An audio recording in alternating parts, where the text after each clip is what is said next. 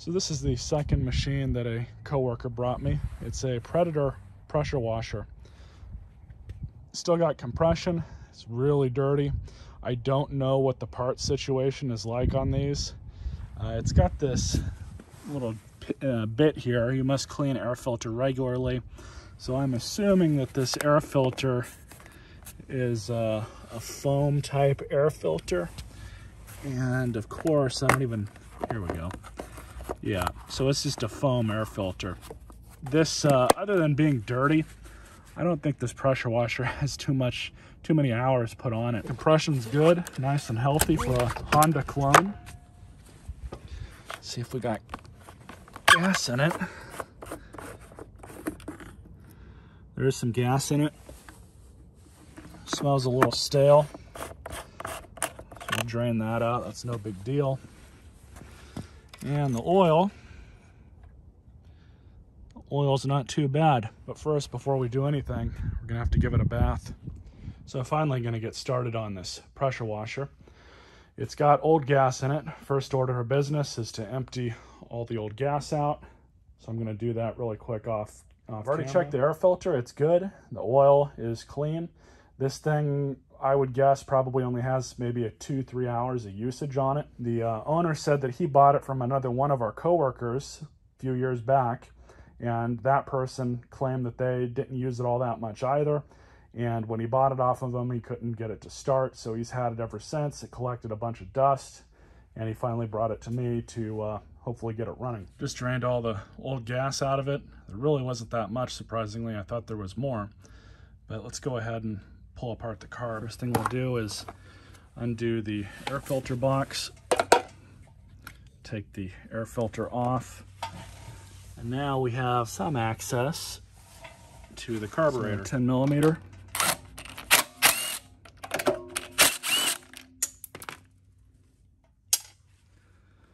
And this should come off. Well, it's got this PCV line going to it. And this bolt here.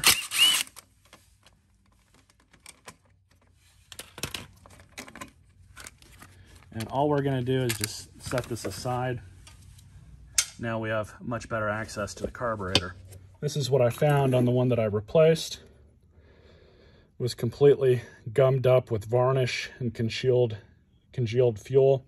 And then this part of the float pin mount was completely broken off and it was just floating in the bowl. The bowl itself isn't too bad, but there's a little bit of corrosion. So what I ended up doing was getting a uh, aftermarket carburetor for an aftermarket engine that's a copy of a Honda. Well, straight from the bowels of Amazon, we have this new Chinesium carburetor. Let's see if it'll uh, work out for us. Of course, this is my biggest worry with stuff like this is that it's sold in a universal capacity. So they claim it'll work, but you know, you don't know until you try it out. So this kit comes with two fuel filters, the associated gaskets, which I'm not even gonna bother changing those, a fuel hose, and then your off-brand spark plug. But let's look at the carburetor and see if they sent us the right one. Definitely some differences. This one's actually got a uh, adjustable mixture setting on it, it looks like. So the new one has a spring on the auto on the choke, which we don't really need that. So back at the machine, I've got the gasket here, but all I've done is installed it back onto the throttle governor arm. And just moving that out of the way. Gasket back on. There we go. Well, like I said, this is one of the bigger issues of trying to find a universal carb for one of these Chinese engines. You always run into a problem Yeah, you might have to swap some parts around up here with the old carb to make things work, but right now, the inlet for the fuel is the wrong size. So, I'm either going to have to get the right carburetor or cut the fuel line right there, convert it over to the smaller size, and be done with All right, it. so I got the replacement carburetor on, got the airbox on. Apologize for the wind if that's an issue, but choke works fine. So full choke, it's turned on. I just put some fresh gas in it. Now the only reason I'm running this is it's fine now, but I was just running it to uh, purge the air out of the lines, but I think we're good. So we'll just set this right back. Oil's good. Check that at the beginning of the video. But let's see if it'll start.